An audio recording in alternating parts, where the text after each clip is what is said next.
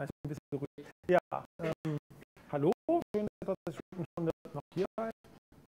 Ähm, obwohl ich vielleicht einige von euch den Tag über so bedröhnt worden sind mit irgendwelchen solchen Sachen wie Cloud Computing, Software, Service, solche anderen Geschichten. Äh, ja, möchte ich euch trotzdem noch was dazu erzählen. Und zwar eigentlich werde ich auch oder andere Leute mal gefragt, wie denn so das Verhältnis zwischen Software, Service, Cloud-Geschichten ähm, und freier Software ist, was das eigentlich bedeutet, dass das gute freie Software ist, schlechte freie Software und ähnliches. Da habe ich mir ein paar Gedanken dazu gemacht. Und die würde ich jetzt gerne mit euch teilen. Das ist so die Agenda, die ich mir mal grob vorgenommen habe. Ähm, ein bisschen was über Software Service erzählen.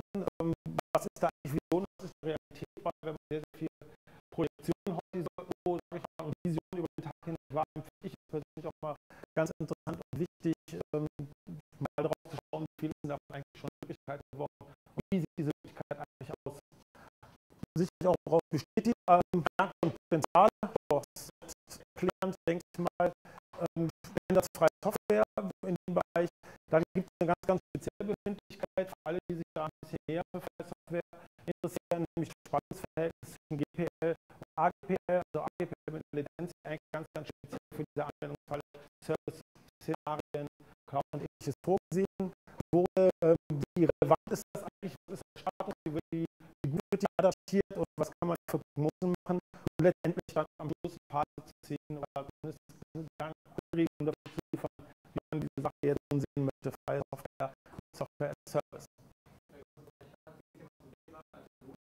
So, ja gut, okay. Ich heiße Elmar.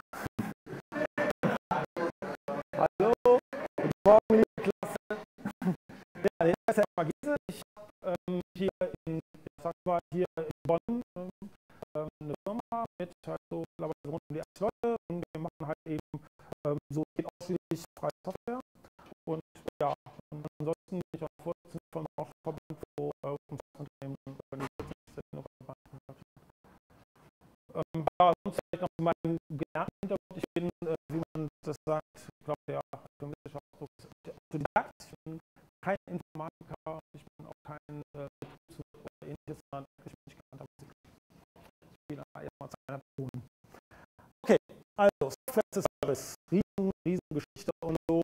Äh, Software als Dienstleistung ähm, ist, finde ich, überhaupt nichts Neues. Also es gibt Unternehmen, da will ich auch kurz einzeigen, äh, die das schon also seit Jahrzehnten praktizieren und in meiner ersten Konfrontation mit äh, ähm, Anwendungen der IT war es zum Beispiel eine Datev-Anwendung, vielleicht der eine oder andere schon gehört, die haben schon sehr, sehr lange ein Servicemodell. Äh, gibt es also immer schon, anders kennen, dazu kennen wir das aus dem Kontext Anwendungsentwicklung natürlich, Anpassungsgeschäft halt eben, das alles Dienstleistungen, die dort erbracht werden und äh, natürlich das Open Source Business Modell, das ich jetzt einfach mal als äh, bekannt gegeben in diesem Vortrag voraussetzen möchte. Okay, ich finde also, dass man besser sagen würde, bei Software as a Service geht es im Prinzip um Softwarenutzung als Dienstleistung und auch das ist jetzt nicht unbedingt was, was ähm, unbedingt was Neues ist, sondern eigentlich historisch kann man sagen, weil ähm, schon bedingt dessen, dass Rechner wie zum Beispiel solche halt eben so unendlich teuer gewesen sind, dass sich sowieso keiner leisten konnte. Viele haben das sicherlich auch im Studium noch kennengelernt, was wie heute noch ist. Also man da halt eben so eine Rechenzeitteilchen. Und die wurde natürlich verkauft und vermietet. Es gab zum, da sehr viele Servicemodelle, auch zum Beispiel, dass Universitäten Rechenkapazität an zum Beispiel mal Automobilindustrie verkauft haben.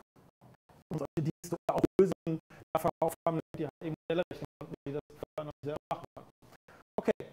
Ähm, zum Beispiel, deswegen gab es auch noch relativ wenig halt eben halt zu der Zeit, aber hier so ganz hübsches, äh, viele sammeln ja auch so ältere Geräte, ich keine, der so stehen hat, viele andere schöne Sachen, sehen auch welche Raum, sowas eine sammelt.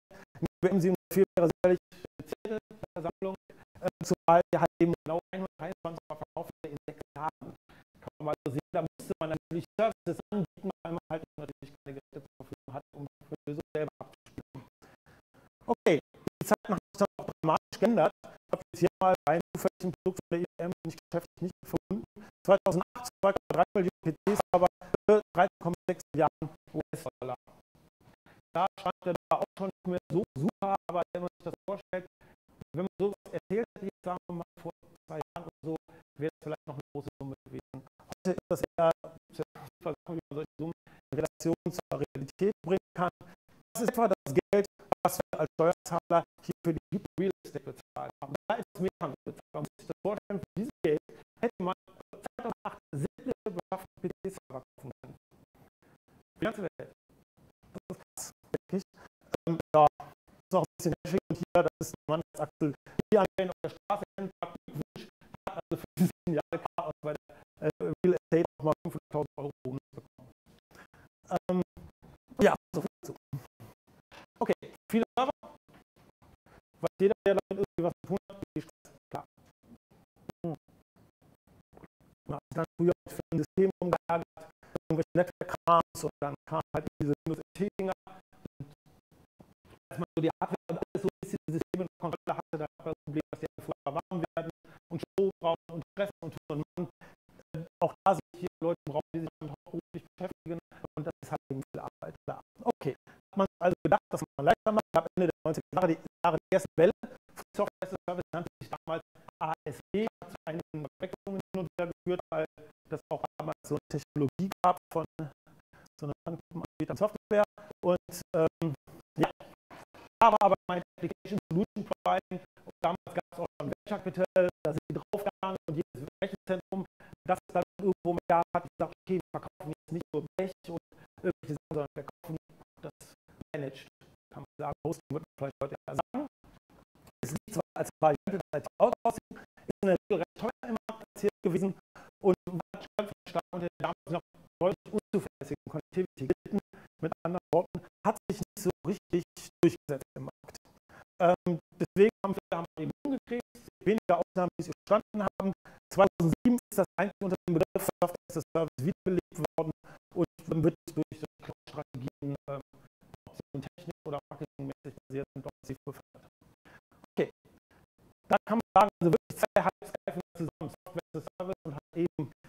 Cloud, ähm, das ist für mich einfach untrennbar.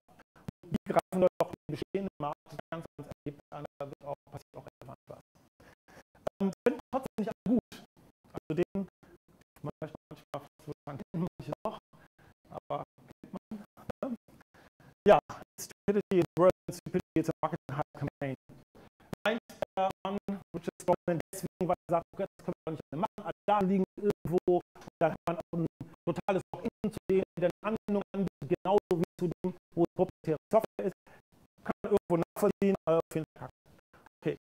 Eine ganz andere Ecke.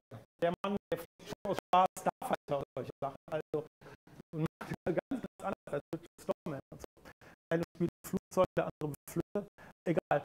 Ähm, ja, der, aber was ich eigentlich an dem mag, ist, der sagt immer gerne Larry, kernige Sachen, haut heraus und so. Ist ein richtiger Spaßmann.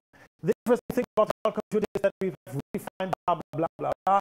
Eigentlich interessant ist, er findet das also mehr passion-driven than women's passion. Und jetzt, maybe I'm an idiot, but I have no idea what anyone is talking about. What is it? It's a complete gibberish. It's insane. When is this IDOC going to stop? Ich würde sagen, Larry muss einfach damit leben. Das wird jetzt so weitergehen, das wird auch nicht mehr verschwinden.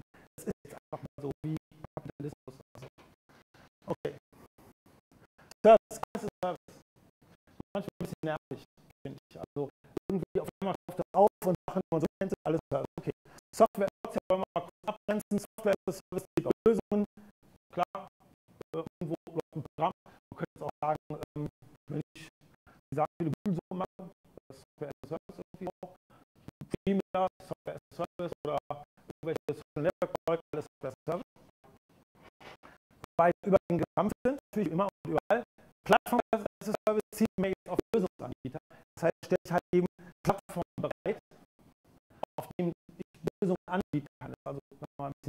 aggregiert, zeige noch etwas dazu.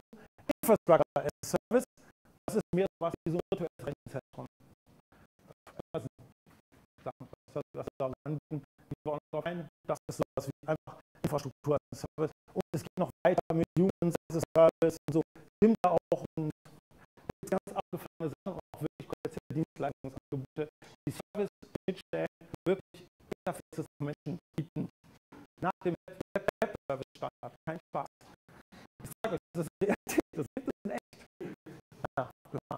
und ich warte jetzt irgendwann, bis einer kommt und das rekursiv macht und Service as Service macht.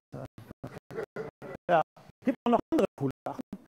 Keiner CLS. Halt nee, ne? Bitte? Ja. Okay. Das ist das Beste. Ne? Kennen wir, gibt es in vielen Ländern auf der Welt.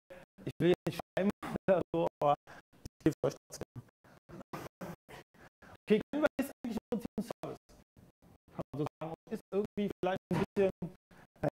Kenne jetzt welche im Raum, die fühlen sich davon zu stark behütet. Aber die Idee ist ja voll gut. Ne? Oder? Ich finde das, bitte?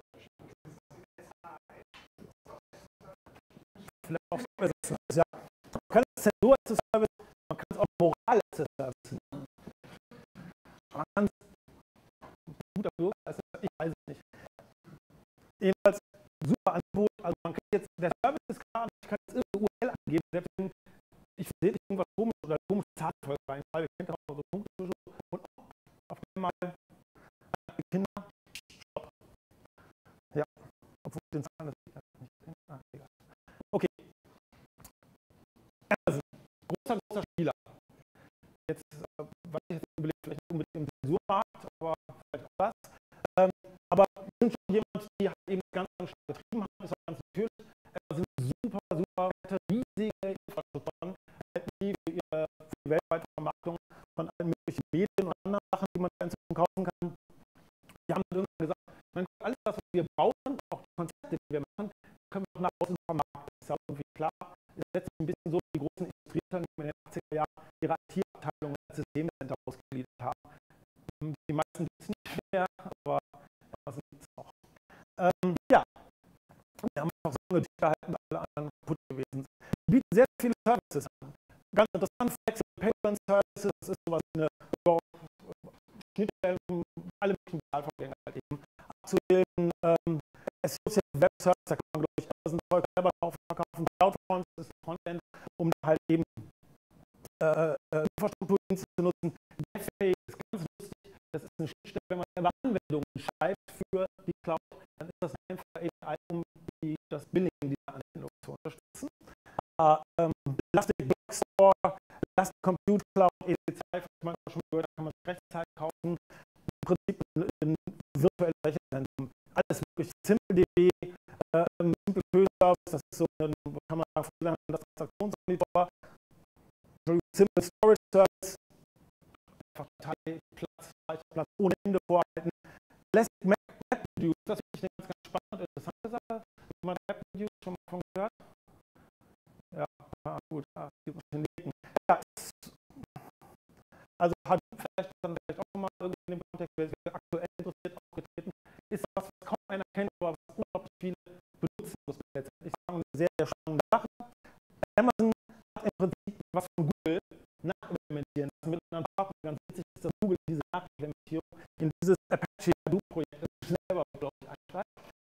Ähm, und ist deswegen, da kommt auch dann neben den Themen heran, ein Beispiel, wie halt eben jetzt Open Source und halt eben Software as a Service miteinander interagiert. Dieses System, diese Dienstleistung, kann Amazon neben vielen anderen, die ich doch auch nur auf Basis von Open Source Produkten anbieten. Das Hadoop ist wirklich eine spannende Sache, wenn man reingucken möchte. Das ist ein bisschen auch auf ist, aber Facebook verwendet das ähm, und hat darauf jetzt 2009 2,5 Petabyte äh, Code, das ist eine, gehört zu den größten Datenbanken der Welt und hat täglichen Zuwachs von 15 Terabyte. Und das kriegen wir mit diesem Hadoop gehandelt. Das ist schon imponierend. Letztendlich ist das dieselbe Technologie, ähm, die hinter diesem großen virtuellen Netz steckt, das Google und die Welt spart. Okay, wenn man sich mal anguckt, wer ist jetzt, ähm, wie unterstützen solche Companies, die das einsetzen, äh, Open Source oder welche Companies setzen das Produkt ein? Das kann man so oder so drehen. Ich habe einfach mal so mit in dem Projekt ähm, das ist so ähnlich wie eben im anderen Raum beim Android-Vortrag. Man sagt, okay, wenn Touchy viele Sachen postet im Android, man, es gibt halt ein Touch-Handy, kann man sehen, die benutzen das oder werden es benutzt. Tatsächlich ist es wirklich so, dass sie das halt alle einsetzen. Also die bieten so Cloud-Dienstleistungen an Cloudera. Ansonsten haben wir hier Yahoo, hier haben wir auch jemanden von Facebook und so. Wir haben keinen von Amazon dabei, aber vielleicht das anders mittelbar. Ersten Riege sieht man das ganz, ganz klar, wer solche Projekte treibt, werden halt eben auch solche großen Infrastrukturwerkzeuge voranbringt. Da kann man sagen, schon mal so als erstes Ergebnis, da gibt es eine positive Einwirkung auf Open Source und freie Software. Und das ist sicher eine sehr wertvolle Kontribution, die da geleistet wird. Okay. Dann, den wollte ich euch zeigen. Genau. richtig cool. Das ist, das ist kein das ist echt. Also, Amazon bietet den Amazon Mechanical Turk. Das ist Tatsache. Das ist das, was ich vorhin schon mal ein bisschen angedeutet habe. Human Service. Das heißt auch wirklich so. Und die nennen das auch wirklich so, weil das war wahrscheinlich so die meisten eben diesen äh, Schachspieler gegeben hat. Der hat auch tatsächlich, man glaube, ich glaube, ein oder zwei Jahre funktioniert, bis einer festgestellt hat, dass da ganz, kleiner Mensch der die Figur von ihm steuert. Ja, Amazon hat ein Produkt, Amazon Mechanical Turk genannt. So, und das als Service verkauft wird. So, also Mechanical Turk aims to make assessing human intelligence simple, scalable and cost effective. Also Leute, immer schön skalieren. Ähm, ja, Wahnsinn, ne? Also beating tasks done called human intelligent tasks oder HITS. HITS. Okay, und dann können wir jetzt die Robust Mechanical Turk API nutzen und thousands of high quality und hier, Achtung, immer auf Kostenpunkte. Ja, immer schön, man Silvester BL einschieben. Global, Global, Global Low Cost irgendwie zusammen. Uh, on Demand, Global Low Cost on Demand gehört eigentlich das da zusammen. Workers and then programmatically integrate the result that work directly into business processes work enables developers and business achieve their goals, so bla bla bla. Ja, peinlich. Aber es ist Realität. Also, vielleicht finden wir uns alle mal all solche Mechanical Turks wieder. Und dann wisst ihr, wo es herkommt. Okay, es gibt aber auch andere Sachen, die sind vielleicht politisch korrekter. Ähm, zum Beispiel gibt es eine Partnerschaft zwischen Red Hat, denke ich mal, so das führende Softwareunternehmen so auf dieser Welt, ähm, egal wie man so stehen mag, aber ist schon was okay. Wir haben jetzt ein Fahrprojekt gemacht mit Amazon und jetzt kann man halt eben so sein Red Hat Enterprise Linux als Service betreiben. Das ist ein typisches Beispiel jetzt, also ich sagen, ja, Infrastruktur oder Plattform kann man schon sagen, als Service. Wenn da jetzt noch ein bisschen draufkommt, wie äh, Middleware, Labels, andere Sachen, dann kann man, denke ich, die richtigen rechten Plattform nennen. Das ist eine Vision letztendlich von Infrastruktur Software as a Service kommen. Ich habe eine Basisinfrastruktur, die wird am Amazon gestellt, eine Plattforminfrastruktur von Enterprise Linux und dann kann jetzt ein Anbieter diese Plattform benutzen, zum Beispiel, um jetzt zum Beispiel Sugar-CRM-Instanzen zu hosten, zu verwalten oder vielleicht auch andere Software. Okay. Das ist natürlich ein Vorteil, ist der Komplexität. Der Nachteil ist lange Wertschöpfungskette. Deswegen muss ich das irgendwo noch ein bisschen finden und etablieren. Vielleicht das wird auch für Mechanical Turks mal irgendwie zu kann man das es auch für alle profitabel. Aber das ist die Vision, das ist die Idee. Anderes Beispiel Plattform as a Service finde ich Google App Engine. Ich weiß nicht, jemand Google App Engine? Irgendjemand schon was damit gemacht? Liebe diesen Kontinent. Ah, doch, da, einer. Okay, in Amerika ist es, glaube ich, ein bisschen angesagt, aber war es, aber wir haben so viel Downtime, das macht nicht einen Spaß. Ich weiß nicht, sind deine Erfahrungen damit? Funktioniert das gut? Ja. Okay. Dann ist es gut, dass es eine gibt. Ähm, ich habe eine unmittelbare Erfahrung, ich habe auf das gezogen, da gab es jetzt aktuell, glaube ich, ein bisschen Stress wegen irgendwelchen Downtime und so. Was man aber sagen muss, ist eigentlich die Idee jetzt ein Übel vom Prinzip. Ähm, das ist das Angebot, ist eigentlich ein Service. Ich kann irgendwelche Projekte darauf machen, irgendwelche, mal gucken und so, welche Lizenzen dann so gerne gesehen werden. Kostenlos werden 500 MB, 5 Millionen Seitenaufrufe ist doch schon was, 10 Anwendungen und 20.000 Mails habe ich Spam im Monat. Ja, kann JavaScript, Python,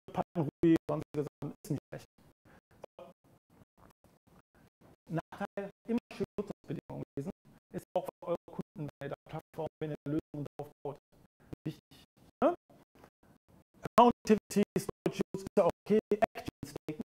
Hm. Ah, das ist Click on, hm. links, ah, klar, und so, naja. Viertes, State and Time Access, ID, Further, ich glaube, es wird jetzt nur noch hier schlecht und politische Gesinnung. Und dann kann alles nachlesen, Google Price, alles transparent. Okay. Gedacht als gute Plattform für Startups, wenn man jetzt kein Problem mit den Privacy-Issues hat. Am 2. Juli 2009 Was man aber zugeben muss, ist transparent. Man kann angucken, was eine Lösung, also wie gesund die Plattform ist. Es gibt wahrscheinlich noch, äh, wahrscheinlich auch, es gibt auch APIs, wo man das ein bisschen detaillierter kann und so. Aber die Idee ist jetzt mal nicht so schlecht. Ist auch ehrlich fair hier von done, done, done, experience, evaluate, uh, evaluate latencies for all data store operations. Okay, also wer manche beim Provider zufrieden oder so ähnlich wäre. Okay, Software as a Service muss halt über Microsoft gebraucht. Also die machen jetzt Exchange, Online SharePoint, Online Live Meeting, uh, Office Communication, Word noch nicht vollkommen mit Office 10. Hängt jetzt ein bisschen von ab, wir haben jetzt von letzten Patentstreit und der kostet jetzt, glaube ich, erstmal eine Viertelmilliarde und ja, mal sehen. Guck, vielleicht letzte die Patente auch nicht oder so, man muss das sehen. Aber das sind die Sachen, die es gibt. Gibt es auch einen hübschen Rechner online, kann man sich ausrechnen und da sieht man halt eben 100 Leute CRM zum Beispiel, kostet 400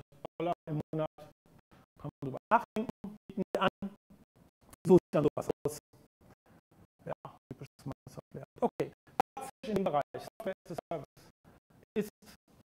Salesforce. Ich habe jemanden reingenommen, das ganz interessant für dich in so einer Konferenz. Success.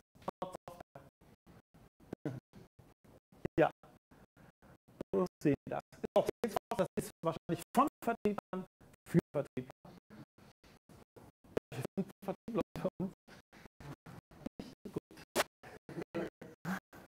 Alles klar.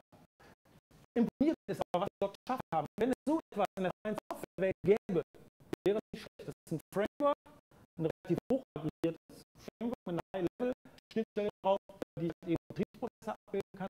Nicht schlecht, man könnte sich auch vorstellen, dass jetzt also andere CRM-Systeme nachempfinden. Gibt es welche Versuche, das, aber da kann man so ganz, oder überhaupt andere Systeme nachempfinden. 18 Applikationen sind da drauf. Stimmt wirklich, man kann sie wirklich super easy konfigurieren und man hat nichts an Stress. Und da wundert das nicht weiter, dass halt eben hier die Jungs äh, jetzt etwa, ich glaube, eine Milliarde machen. Sources Service, nehmen wir mal das Beispiel jetzt dagegen. Sugar CRM ist ja relativ äh, verbreitet, tragischerweise möchte man das sagen, die, die das Produkt von Ihnen kennen. Ähm, ja, die machen jetzt auch so, ne? Cloud Open. Dann scheint die Sonne durch. Okay. Ist jetzt so das, das auch. Es gibt also auch ganz, ganz viele Entwickler, viele Dateien dahin, von 702 Projekte drauf. Es gibt jetzt noch eine Zeit, das sind sogenannte qualitätsgesicherte Projekte. Da kann man die zertifizieren lassen für Geld bei Sugar CRM. Ähm, mal ganz ehrlich gesagt, das ist bisher auch kommerziell noch nicht so liberal. Also, wenn man jetzt ein paar Tage ganz kurz sehen, dann sehen wir jetzt hier zum Beispiel Salesforce, unglaublich emergierend, 42,10% Zuwachs innerhalb von einem Jahr. Das ist nicht schlecht, wenn man bedenkt, wie die vorher waren. Das ist ja auch nicht schlecht, 666 äh, Millionen, jetzt sind wir 965 Millionen angekommen. Ähm, hat einer eine Idee, was Sugar CRM im Jahr macht? Also weltweit führende Open Source CRM-System, ich sag's auch, 45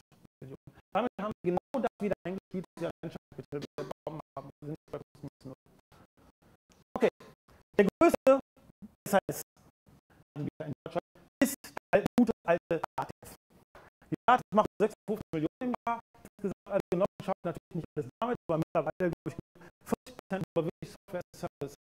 Und das denkt man so gar nicht mal, da würde man vielleicht andere vermuten, aber tatsächlich ist es die Datev. Okay, gut. Open Source. Was spielt das jetzt für eine Rolle? Haben wir eben gesehen, okay, das ist vielleicht noch ein bisschen an den Produkten und ähm, ja, was weiß ich, das könnte vielleicht das besser funktionieren, aber welche Spannungsfeld haben wir da? Erstmal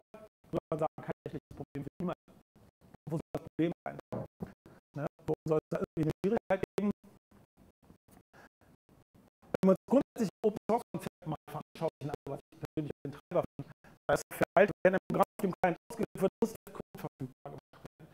Für andere Regulatorien, ich glaube inzwischen EPL V3 ist inzwischen aufgebläht auf 20 Seiten in der deutschen Sprache oder sowas, sieht man nicht mehr so eben. Okay, das ist aber, sagen wir mal so, finde ich der Kern der ganzen Geschichte. So, das kann man sich natürlich jetzt vermuten, dass da ein Spannungsfeld besteht. Wenn kein Programm auf dem Client ausgeführt wird, muss auch kein Code gemacht werden. Ja, ne? Wo wird denn jetzt so ein Google ausgeführt oder so Amazon-Zeug ausgeführt? Die werden auf Kleinrecht ausgeführt. Und aus diesem Grunde müssen die auch Code nicht rausgeben. Aus diesem Grunde gibt es die ganzen massiven Verbesserungen, die halt eben auf der Service-Plattform Google ist weltweit verteilt. Und die massiven Sachen, die alle Kernel und überall sonst gemacht haben, nicht veröffentlicht werden und nicht veröffentlicht werden. Ja, Online-Services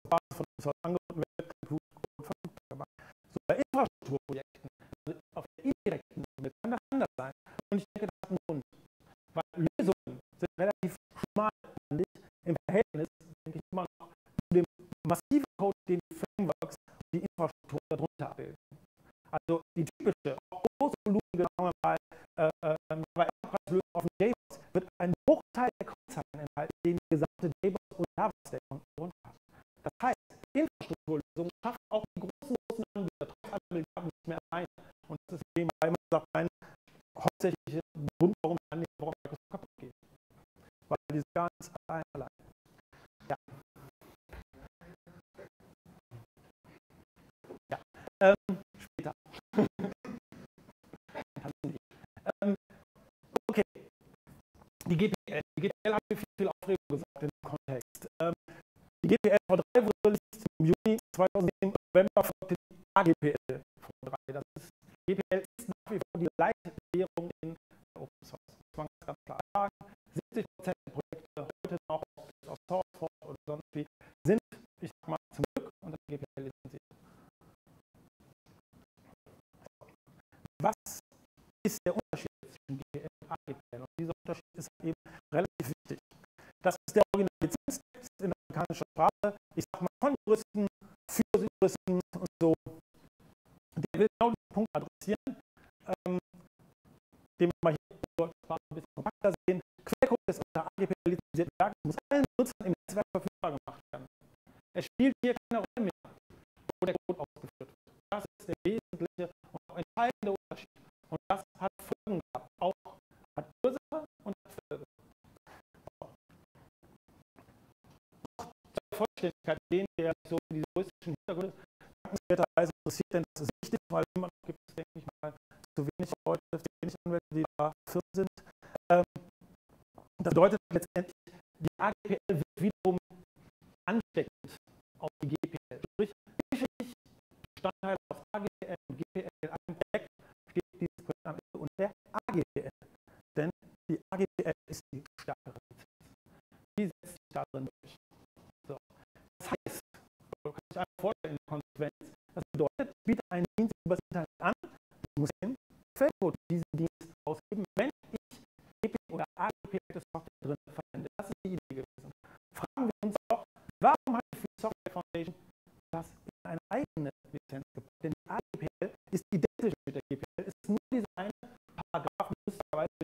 13 zugekommen.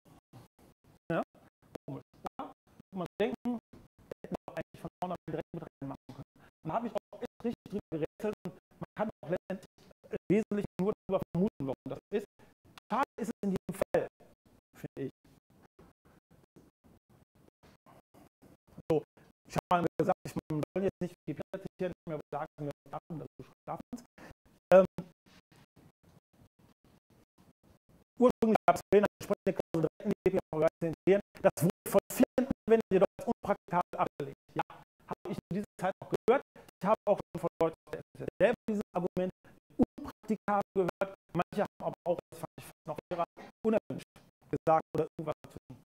Ich glaube, dass die Wahrheit unerwünscht ist. Denn wer waren die vielen Anwender? Also, wir haben klar, die ganze Welt ist gefragt worden letztendlich. Es ist ein sehr aufwendiger Prozess gewesen. Man kann der FSS alles vorwerfen, aber ganz, ganz bestimmt, dass dieser Prozess geschlossen gewesen ist. konnte wirklich daran teilnehmen. Aber ganz am Ende, die Zeilen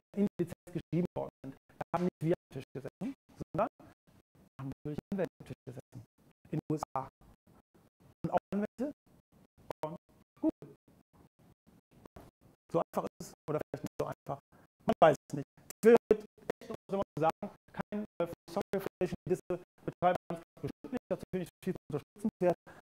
Aber man muss sich wollen dürfen, und das finde ich auch ganz legitim, sowas offen zu kommunizieren, weil das liegt auch letztendlich der Systemhygiene.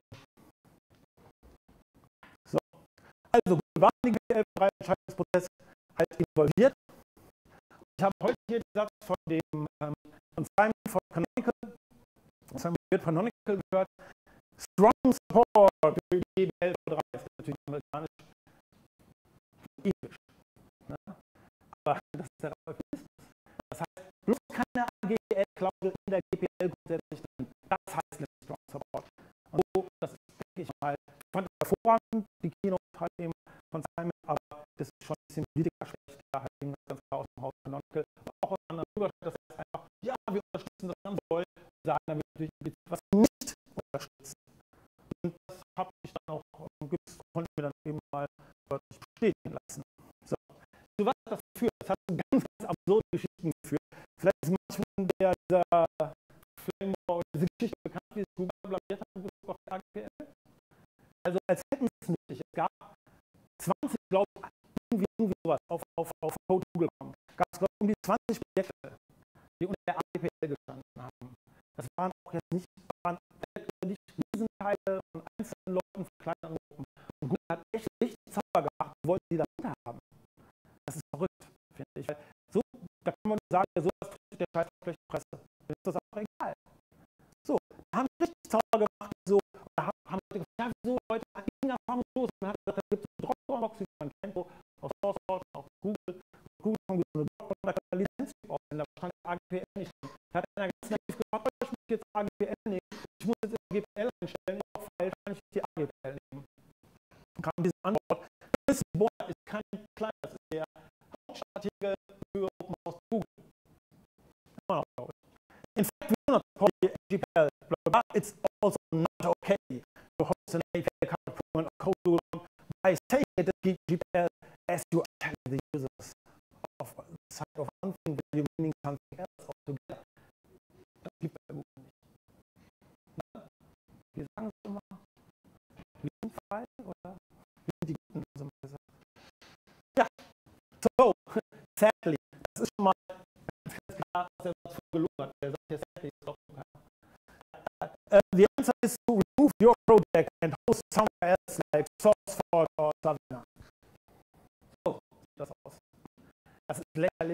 lächerlich, erbärmlich. Eigentlich sollte man sich für etwas schämen. Da haut der weltgrößte Konzern in diesem Bereich auf einzelne Softwareentwickler drauf. Das ist dann noch ein einzelner Typ ein Single-Man-Projekt bekommen hat. Das muss ich mal eindrücken. Okay. Dann hat er mal so nochmal nachgehangen, das geht so nicht und, und schlechtes Benehmen und soll das überhaupt? Er hat gesagt, ja, nee, ähm, die benutzen auch keine Lizenz, die war ja auch gerade mal zwei Monate draußen. Und ähm, wir wollen jetzt nicht so Fragmentierung viel für unterschiedliche Lizenzen, das wollen wir alles nicht. Und deswegen wurden die AGPL-Projekte wirklich aufgefordert, äh, Google zu verlassen. Das Witzige ist, wenn man da immer noch sucht, über Google drin findet man immer Projekte, die diese Lizenz haben. Das ist ganz witzig. Okay. Meine Sicht der Dinge, das nicht jetzt genug gefärbt gewesen ist.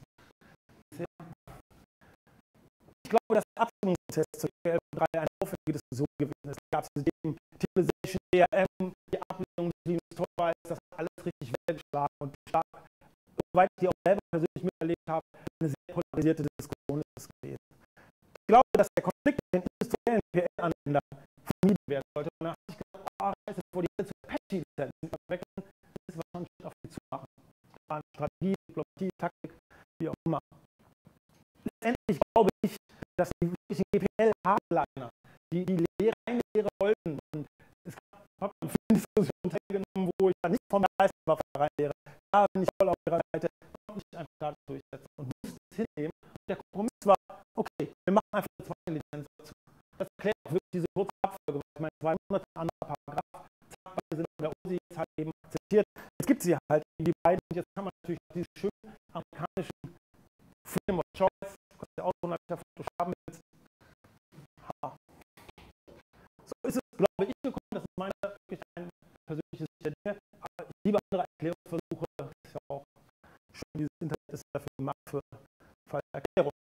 Ist AGPL sinnvoll? Ja, da muss jeder ein Bild drüber machen. Ich sage, hast du schon raten, ne? Ja. Ja, die AGPL ist sinnvoll. Ich finde es gut, Projekte der AGPL zu lizenzieren. Und wir denken da ernsthaft darüber nach, als ich bestimmt auch bei uns im Unternehmen nicht dagegen, das einfach zu tun. Ich will, das sollen möglichst viele Leute tun, weil es braucht einfach mehr Projekte, die unter dieser Lizenz stehen. Da kommen wir halt eben gerade kleine und mittlere Unternehmen, für die ist einfach wichtig, schon aufgrund des Investitionsschutzes und um das, um das Businessmodell zu erhalten. Das sind welche Treiber, die helfen können, die weiter durchzusetzen. Ja, und ähm, ich kann auch nur wirklich an jeden Entwickler aus der an die böse Community äh, appellieren, zu sagen, einfach auch darüber nachdenken. Es ist auch nicht immer so präsent, einfach zu sagen, warum nicht einfach gar nicht nachdenken? Immer, wenn ich EPL-orientiert bin, das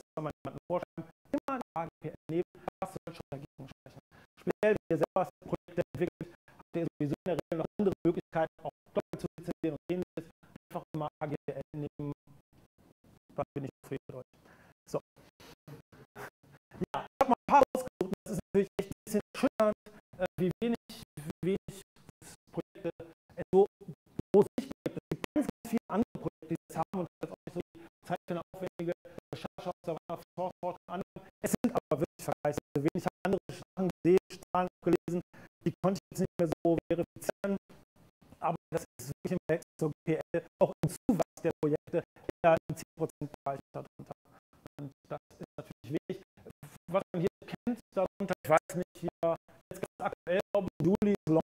dazu gekommen von Canonical.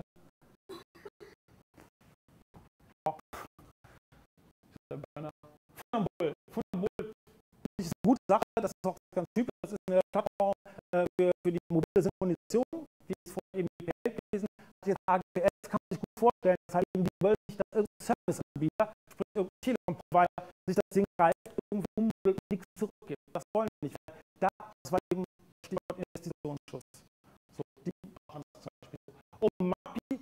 Eine Geschichte auch, auch von einem äh, kleinen mittelständischen Unternehmen, äh, vielleicht auch gehört, ein äh, Open Source, äh, das, Zafa. Ähm, die haben das gemacht, auch irgendwie auch ähnlich in Erwägung. Das ist halt eine, eine Schnittstellenimplementierung, die halt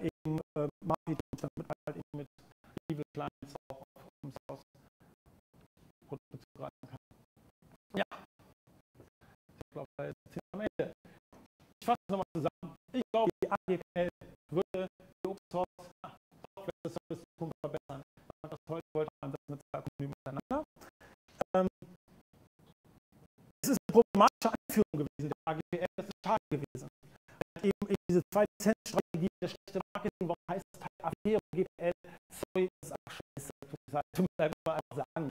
Also jetzt irgendwie so ein Firmennamen, so eine Lizenz, das ist jahrelang übel gewesen. Man hätte das für diese dafür nutzen können und nutzen müssen, die Dinge einfach einen vernünftigen, gleichwertigen Namen zu geben, dass nicht so zonenhaft klingt. Das finde ich ist Marketing-GAU und warum aus dem Marketing aus der Vergangenheit nicht lernen. Vielleicht war es auch irgendwie eine ganz böse, böse Sache von den Leuten, die sowieso dagegen sind.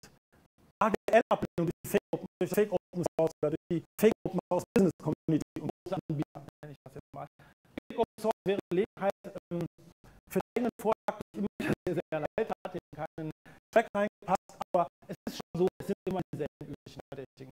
Muss man ganz klar sagen. Die Parasiten, die Leute, die immer nur nehmen wollen und sagen wir mal auf gönnerhafte, äh, was soll man das eigentlich sagen, ja, wie so eine, keine Ahnung, wie so früher so eine Adlige, das habe ich ein guter Adliger, weil ich habe mir so nicht gesagt, ich habe mal ein paar Dukaten, weil Weihnachten unterwegs sind, nicht ganz auch mal oder so. So eine Art ist es im Prinzip. Wir geben was zurück und so. Scheiße, ganz klar. Einfach fair sein ist doch die beste Lösung. Leider gibt, nimmt es das so Unsitte, schwach ein bisschen auf die Vereinigten Staaten rüber. Ähm, sowas zu tun bei diesen Unternehmen muss man ganz, ganz klar sagen, das zum Glück deutlich weniger vor, hat was damit zu tun, dass hiesige Unternehmen härter kämpfen müssen, weil die kriegen ja dieses kaputte Venture Capital. Und deswegen können wir auch nicht so Mist machen. Da sind nicht noch mutiert vielleicht so ein. Da, wo Venture Capital rumgeworfen wird, haben wir das dann trotzdem. Okay, große Anbieter, alles klar. Du groß, ist es schwierig, nicht evil zu sein. Ähm, die Community kann es richten. Ja. Klingt jetzt ein bisschen nach Michelle Overcome und so, aber ähm, ist so. Ist wirklich so. Es ist ganz, ganz banal. Also, wenn Entwickler Projekte machen, ihre Codes oder AGL machen, dann schaffen sie einfach etwas für, sie, etwas für dieses große gemeinsame, fantastische Ökosystem. Und letztendlich wird es immer so, das ist auch eine Sache, die mich mal nach, obwohl der selber mit unserem Unternehmen viele Leute davon leben. Ähm, Open Source ist immer noch Community getrieben. Das wird gerade vergessen. Da wird immer gesagt, oh, wow, super, hier hält jetzt irgendwie jemand von der oder der oder der Vortrag, so, okay, toll. Aber die wirkliche Arbeit wird von Millionen Leuten gemacht und nicht von irgendwelchen Evangelisten von, ja, egal. Ihr wisst was ich meine. Okay, ja. Wenn nicht, geht die Source-Welt oder die Preiswelt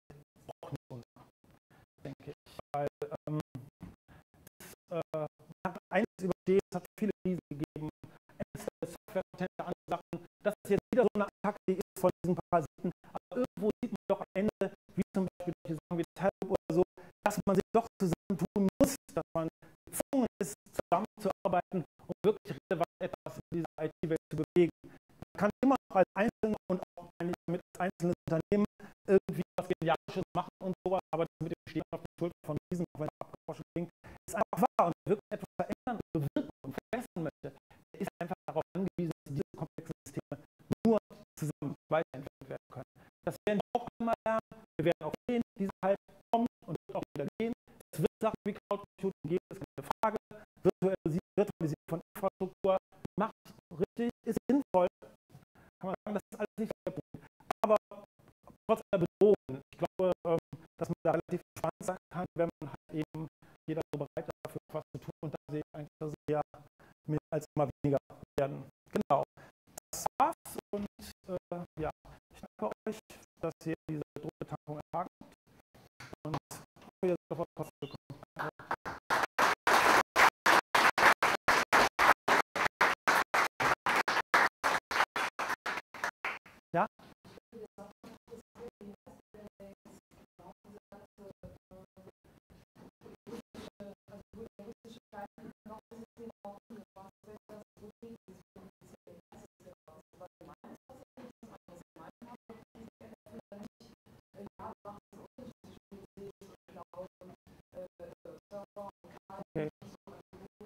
ist der, das ist der Paragraph 13 in AGL, das ist ein Paragraph, den es in der PL gibt.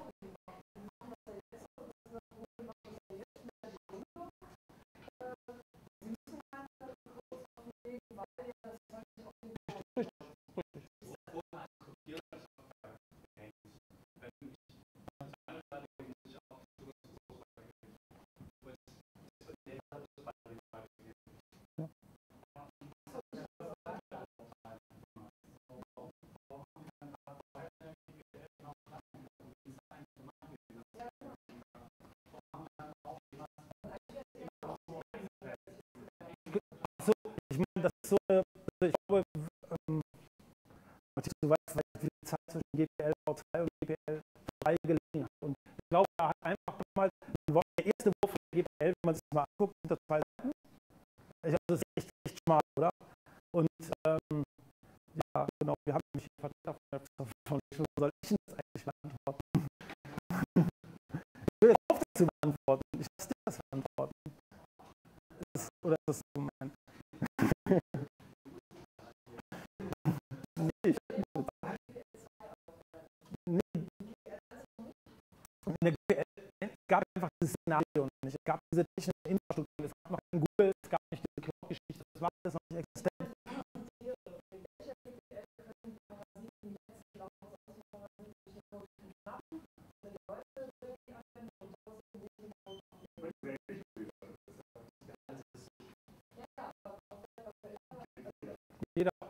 der für GPL.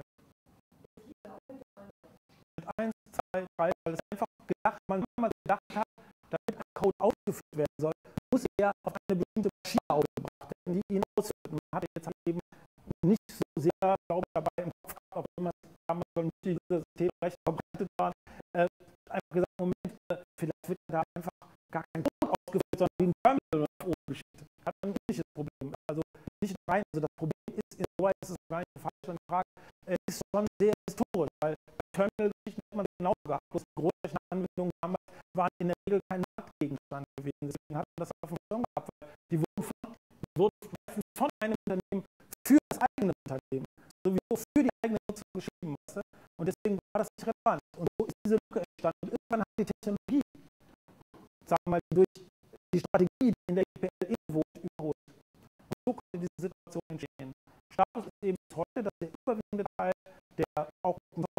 so wie es schon mit anderen Lizenzen gibt, recht, eben von den Leuten, die massiv Profit daraus schöpfen, nicht freigegeben wird.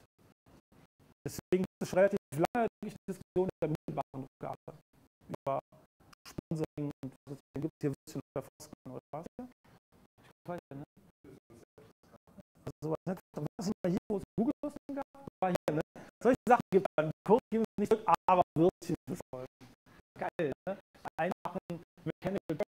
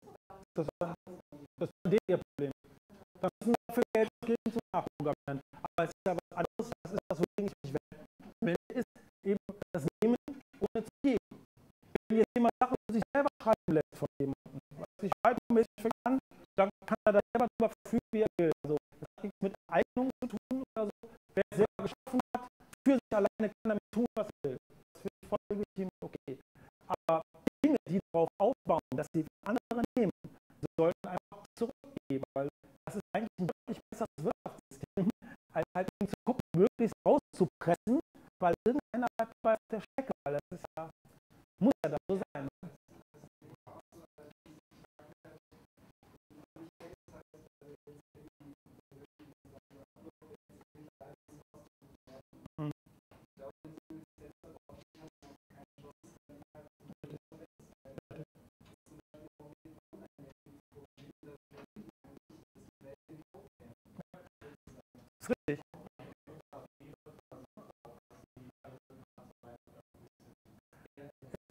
von Sicherheits von Sicherheitsdingen, wo du natürlich recht hast. Das kann nicht das Argument